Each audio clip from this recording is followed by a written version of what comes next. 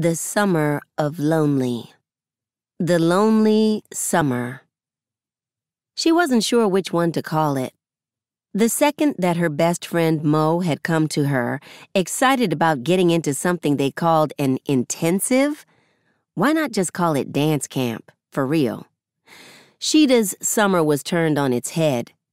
But then Mila got in too, and Chrissy was going away to spend time with family in Virginia. The entire squad was ghost for the summer. That just left her. Well, and Tay.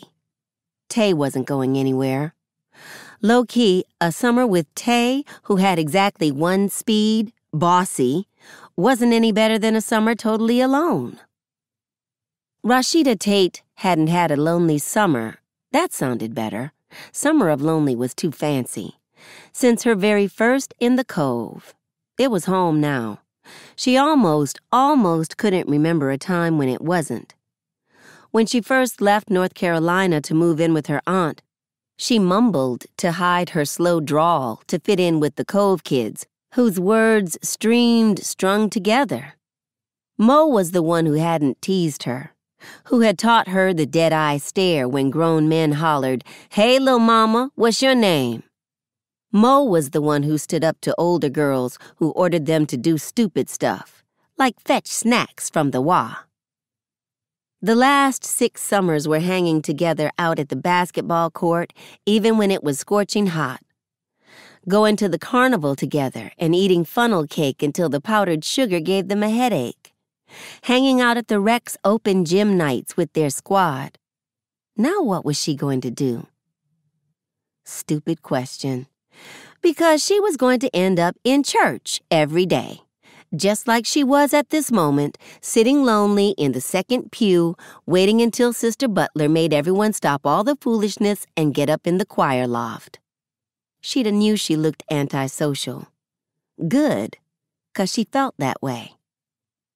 For real, it always took her a few minutes to be all right with being stuck at church. Today she was feeling more standoffish than usual. Yola and Kita, her two closest church friends, were used to it and let her be until she felt like dragging herself up the three tiny stairs that led to where the choir sat, staring out into the big sanctuary.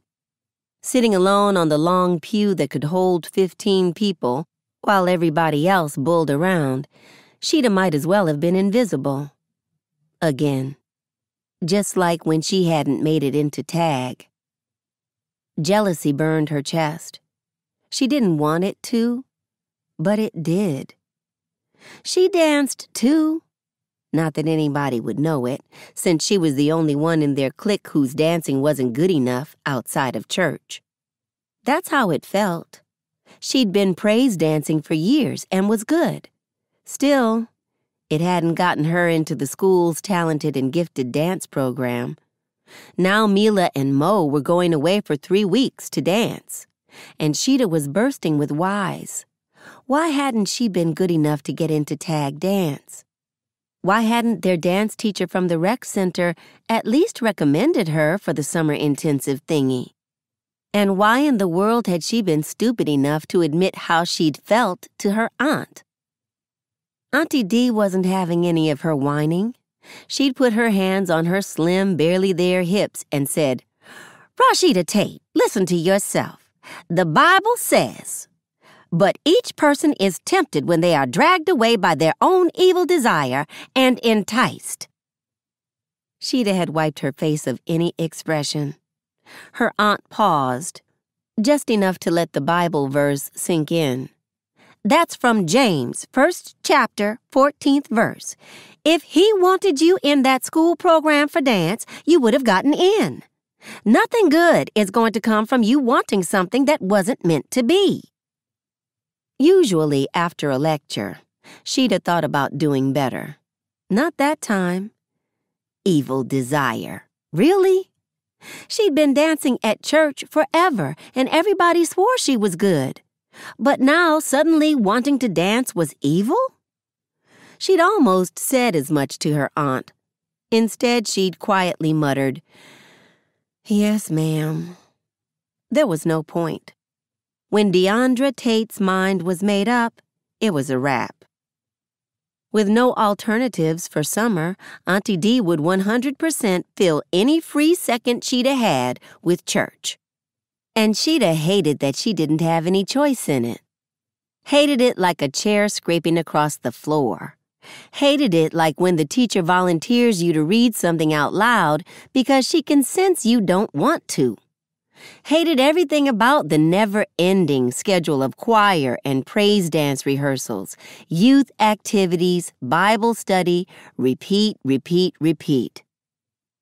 A stony pebble of annoyance lodged in her heart at the thought of being stuck the whole summer inside the walls of First Bap where the bright red carpet made the pews and pulpit look like they floated on a river of blood, and there was an elder around every corner wanting to ask how your grades were, like they were going to tutor you on the spot if you said you were failing. Sister Butler plunked away at the piano, warming up her fingers. Squeals of laughter came from the back of the church, where the fifth graders were playing some game that consisted of them racing up and down the pews. Never mind that running in the sanctuary was forbidden, 10 year olds had a way of making the best of being in church. First Baptist was her second home since she'd moved in with her aunt. Six years ago, her, Yola, Kita, and Jalen were the only kids in the whole church. The first Bat Pack, Sister Butler had named them. They all knew what it was like to be the entire choir and youth ministry she should have felt closer to them. Honestly, the four of them should hardcore be a clique by now. If five years at Bible study, youth nights, and vacation Bible school didn't make you close to somebody, what did? Rasheeda was still trying to find out. She liked the first Bat Pack, but calling them friends felt like an exaggeration. Even a lie. All total, there were 20 kids in the choir now. Most were fifth graders. Sheeda had loved choir and running the then brand new church's halls when she was that age, too. Now, at 13, it wasn't the same. Maybe because they couldn't be all wild like the fifth graders anymore. Or. She stopped herself from even thinking it because she was ready to think hate again, and if she didn't know anything else, she knew sitting in church thinking about hating was wrong. She mentally blinked the word away and focused on Yola and Kita, pretending to be going over the lyrics for today's songs. Sheeda knew they were really looking at the text Jalen had sent to Yola. Jalen stood on the alto's side by himself. Eventually, she, Carlos, and Anthony would join him. First, it bothered her to be the only girl alto. But whenever she tried singing in a higher voice, Sister Butler smiled and said, All right now, alto's got a alto. Jalen had his lyric sheet in his hand, lips moving as he read the words, no doubt trying to impress Sister Butler. She'd had no idea what Yola saw in him. He had a thick head of wavy hair and skin the shade of coffee that had too much cream in it. It wasn't that he wasn't cute, but he thought he was all that because he got all the leads in the songs and the Christmas play. Pastor's favorite. All the women in the church acted like he was a prize. To them, he was a nice young man. Outside of the view of grown ups, he was mad cocky. It erased his cuteness. Sheeda stared past him to the back of the pulpit at the big gold cross. There was a glint to it, like the cross knew she was dreading a summer inside First Baptist and was shining itself on her spirit. She wanted to duck from its presence. Her Auntie Dee's voice played like a sermon on demand. God knows your heart, Lovey. Can't hide from that. The nickname usually had a way of taking the bite off her aunt's constant scripture quotes and sermons. But lately, there were two Auntie D's the one who saw that Sheeda meant well, and the one giving side eye, as if every little wrong was the world's worst sin. Sheeda never knew which Deandra Tate was going to show up. For sure, the Auntie D who called her Lovey with affection wasn't around as much. If she was keeping it a buck, the only time Auntie Dee was truly happy was when they were at church. Shocker. She leaned her head back and sighed toward the ceiling. Her thick rope Marley twists slid on the pew's glossy wood. She adjusted until her neck laid flat. Her phone suddenly glowed beside her. She'd glanced at the message. What you doing? Just as Sister Butler clapped her hands. Okay, let's get started. Ugh, of course.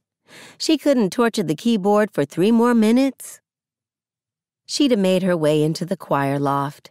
She debated if she had time to answer Dat Boy L back.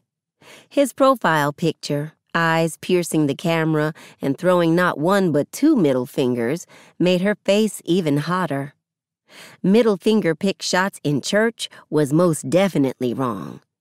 She didn't need her aunt to tell her that.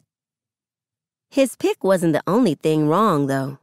And since God didn't like a liar, she admitted to herself that her church friendships, a little jealousy, and how she felt about church weren't the only things complicated these days.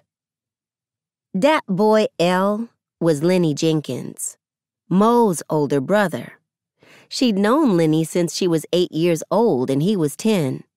Then he spent so much time being punished for one thing or another that Rasheeda had been afraid of him, afraid that merely being in his presence might get her in trouble, especially since Mo's other three brothers were locked up. It took her a while to realize that Lenny only had a big mouth and mainly got in trouble for talking back at school. That felt forever ago. He was 15 now and had never gotten in trouble like his brothers. Him and Mo were the good ones, according to her aunt. Actually, she'd said, Their mother finally caught a break. I guess they're the good ones. Auntie Dee stayed waiting on people to go wrong. Anytime her aunt threw shade at Mo and her family, Rasheeda felt two faced. The only thing that comforted her was her aunt threw shade to pretty much anybody who didn't go to First Bap. She definitely would have never approved of the message Lenny sent, commenting on a picture on Rasheeda's Friend Me page, all growed up like, and a gif of a nearly naked model slow mo walking down the runway with wind in her weave. It made Sheeda take a closer look at the picture he was talking about.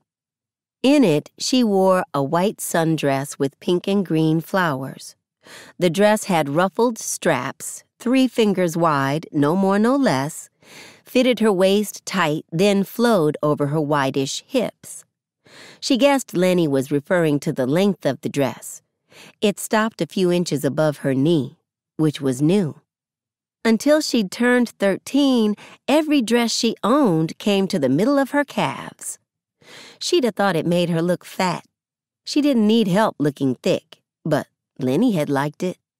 Well, not liked it on her page, but at least privately. And the only person in the world she would have shared it with, she couldn't tell. That had been a few weeks ago. He'd been texting her ever since. A few times, she almost admitted it to Mo. Felt like she should and let Mo say whatever she was going to say because Mo was forever honest. Then that would be that. Only she still hadn't. She wasn't worried about Mo getting angry and dramatic. Well, at least not dramatic. Mo was one of the realest people Rasheeda knew. And that was it. Mo could be too honest. Like pointing out your flaws to the world honest. Sheeda wasn't sure what truth Mo would tell her once she found out about Lenny. But she knew with all her heart it was one she didn't want to hear. She glanced at the message, tempted to answer, then shut the screen down and placed the phone in her back pocket. Sister Butler hit the first note for the song, and Sheeda sang out with all her energy. Yes, I'm a believer. Hiding behind the lyrics.